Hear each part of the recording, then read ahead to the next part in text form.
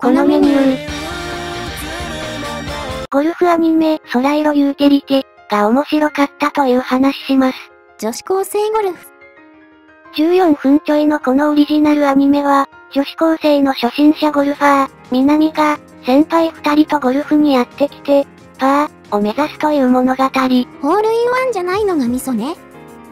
監督が斎藤健吾さんで、絵コンテが天宮哲さんなので、結構グリッドマンやダイナゼノンみたいなタッチなんだけど、多分休日に遊びに来てて、だから楽しい、好き、が、伝わる良い14分アニメでした。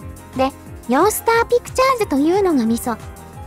アズレン、アークナイツ、ブルアカとか、そういうソシャゲ CM やってるね。まあぶっちゃけ海外なんだけれども、楽しいものを作って、クリエイターの好きを支えてくれるという印象が強くて、個人的には応援したいところなんだよね。アズレンリ即前進デビューから続くと考えると、2021年の良い落としどころかもしれないわね。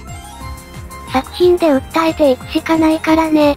ということで、この空色ユーティリティ、両つべで公式配信されてるので、興味があったらぜひ、